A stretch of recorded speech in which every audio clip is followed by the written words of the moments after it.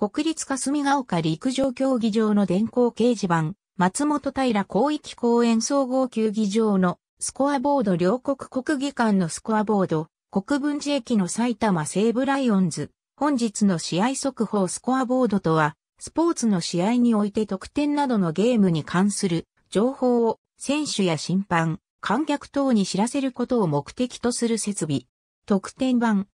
スコアボードは競技場に設置される主要設備の一つであり、試合の進行状況などを観客をはじめとしたその場にいる人々に視覚的に知らせることを目的としている。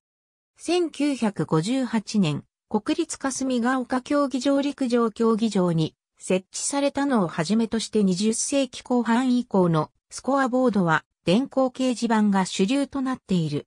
近年競技場の新築、改修するにあたって設置されるスコアボードには、オーロラビジョン、アストロビジョンなどといった大型映像装置が採用されている。そのためコンサートなどといった試合以外のイベントで競技場が使用される場合にも、そのイベントに応じた形でのスコアボードの流用が可能となっている。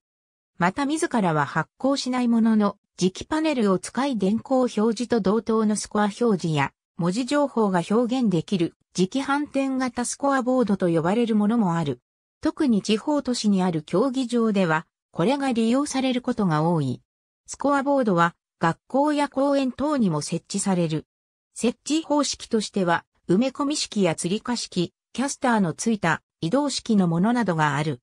得点表示方式としては、黒板やホワイトボードを用いて手書きするもの、電光掲示板を用いているものなどがある。ありがとうございます。